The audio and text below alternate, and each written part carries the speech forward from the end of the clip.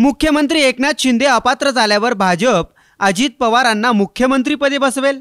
की मग भाजपकडून देवेंद्र फडणवीस किंवा विखे पाटलांची वर्णी लागेल?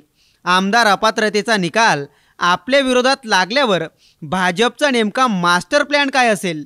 या चर्चांना आता उधाण आलंय.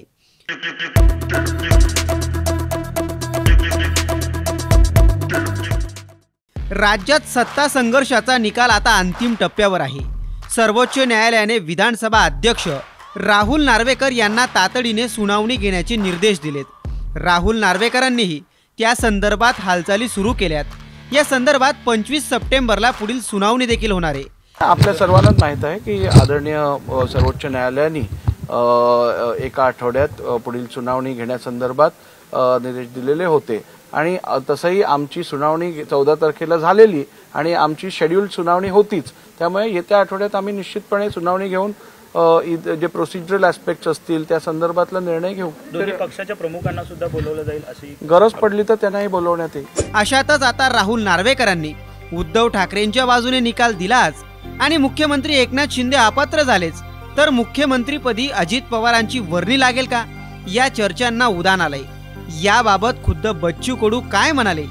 तुम्हीच ऐका. असं होऊ शकत नाही कारण असं जर केलं तर त्याला भाजपला मोठ्या प्रकारचा त्याचा परिणाम भोगावं लागेल.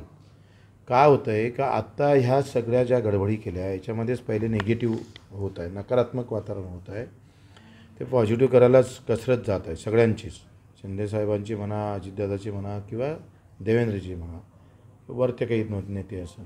त्याच्यातही आत्ता आपण शिंदेला जर शिंदेसाहेबांना बाहेर काढलं उद्या उपमुख्यमंत्री बदललं तर शिंदेसाहेबांचे दहा टक्के पाच टक्के मतं आहे. तेही नाराज होणार आहे. म्हणजे नाराजीच्या सुरात असणाऱ्याची टक्केवारी जर वाढली तर तुमचे प्लॅन कुठलेच कामी येणार नाही. मग लोक आपला प्लॅन सुरू करून देईल. आणि त्या प्लॅनमध्ये मग कोणता पक्ष ठेवायचा नाही ठेवायचा ते ठरवत भाजप असं करणार नाही. कारण आधीच लोकांच्या मनात निगेटिव्ह वातावरण तयार आहे. त्यात भाजप अशी रिस्क घेणार नाही अशी स्पष्ट आणि परखड प्रतिक्रिया बच्चू कडू यांनी दिली आहे याबाबत तुम्हाला काय वाटतं? कमेंट करून नक्की कळवा.